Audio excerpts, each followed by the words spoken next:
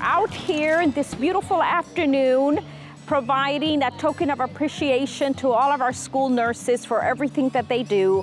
Our school nurses just have such a commitment in taking care of our children every single day, beginning at almost 7 a.m. They're there.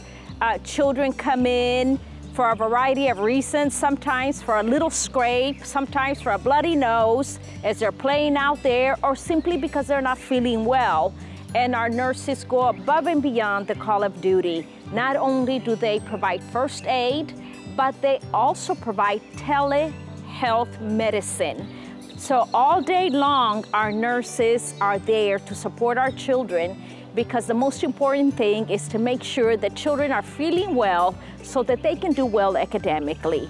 And so if they need to call parents, they call parents, they let them know of whatever happened to their child during the day while they were playing, if they had a scrape, or if it's something a little bit more serious. But at the same time, our nurses go above and beyond the call of duty in taking care of our children every single day. So today we want to say thank you to our nurses. Today is your day, and we hope that you enjoy that lunch plate and all those goodies that were provided to you. And it's just simply to say thank you for being there every single day.